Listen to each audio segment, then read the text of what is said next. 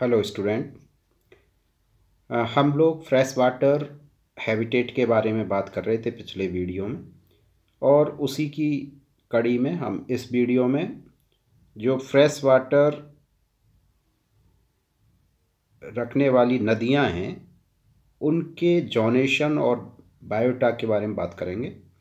तो हम जोनेशन इन रिवर्स देखेंगे और बायोटा ऑफ़ रिवर्स देखेंगे।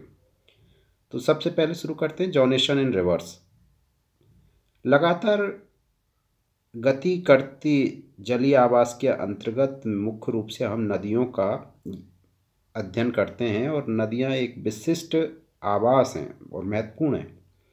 अतः इसी आधार पर हम इनको देखते हैं। अधिकांश लोग जो नदियाँ और सरिताएँ हैं, उनमें विशेष अंतर नहीं कर पाते हैं, लेकिन आकार और आकृति की दृष्टि से हम देखें तो जो सरिताएँ और नदियाँ, उनमें अंतर होता है। मूलतः पारिस्थितिक दृष्टि से विशेष अंतर नहीं पाया जाता है और जो नदियाँ हैं, उनमें जोनेशन की बात करें तो नदियों में स्पष्ट रूप से तीन स्तर पाए जाते हैं।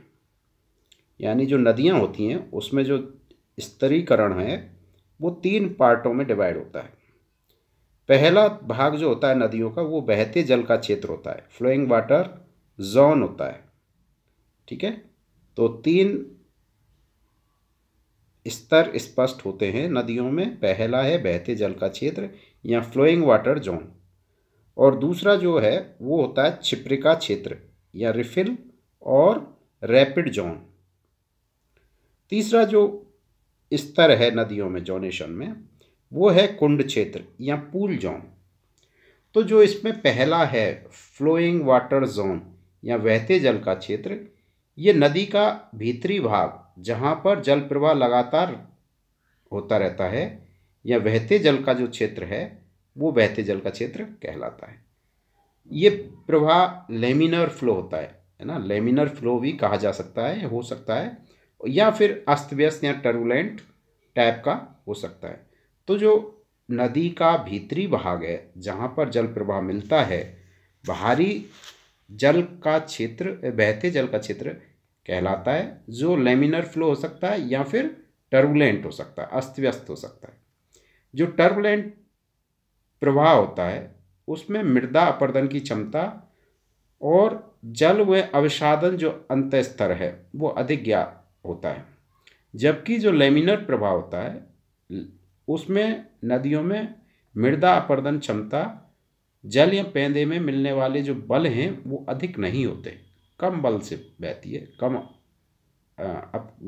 अपघर्षण होता है।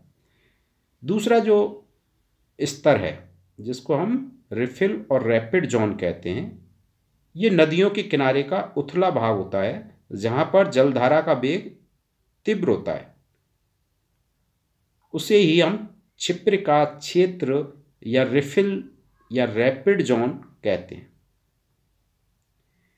जलधारा की गति के कारण इस क्षेत्र में तलगाद, सिल्ट और अन्य संबंधित पदार्थ नहीं होकर चट्टानी और कठोर भाग पाया जाता है। इसे कड़ा आधार कहना ज़्यादा सही रहेगा। तो इनका जो आधार होता है, वो कड़ा होता है। तो इसमें इस तरह के जो क्षेत्र होते हैं, रिफिल या रैपिड जोन क्षेत्र होते हैं, उनमें क्या है? गाद नहीं मिलेगी। जो तीसरा स्तर होता है रिवर्स में, वो होता है पूल जोन या कुंड क्षेत्र। ठीक है? आप जैसे इसमें देख रहे हो फिगर में, इधर वाले में राइट हैंड पे तो इसमें कहीं कहीं पानी भर के स्थिर सा रहता है। ऊपर वाला निकलता रहता है, लेकिन कुछ जल वहाँ पे स्थिर रहता है। कुंड जैसी स्थिति बन जाती है। तो नदी से छोटे छोटे तालाब जैसी संरचनाएँ निर्मित हो जाती हैं। इनको ही हम पूल जोन कहते हैं। नदी के जल स्तर से नीचे वाले जो आसपास के क्षेत्र हैं जहाँ धारा के बेग के कारण तल में गाद और अन्य पदार्थ जमा रहे हो, होते रहते हैं और जो आधार है उसका जो बेस है वो सॉफ्ट होता है नरम रहता है।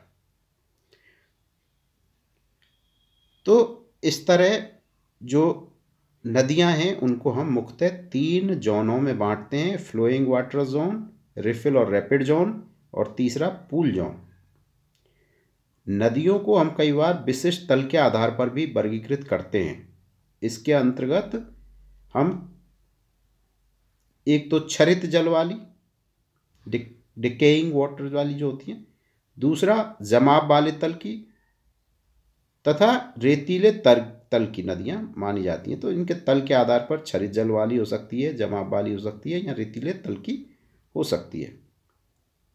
तो इस तरह से अपन जोनेशन इसका देखा हम लोगों ने तो जोनेशन में हम नदियों को तीन ही जोन में बांटते हैं, ठीक है? अलग अलग आपसे जब स्तरीकरण पूछा जाएगा नदियों का बाई चांस तो उसमें आपको ये तीन लिखने हैं फ्लोइंग वाटर जोन रिफिल और रैपिड जोन और दूसरा, तीसरा पूल जोन अब बात करते हैं हम, जो नदियों में मिलने वाला बायोटा है है ना?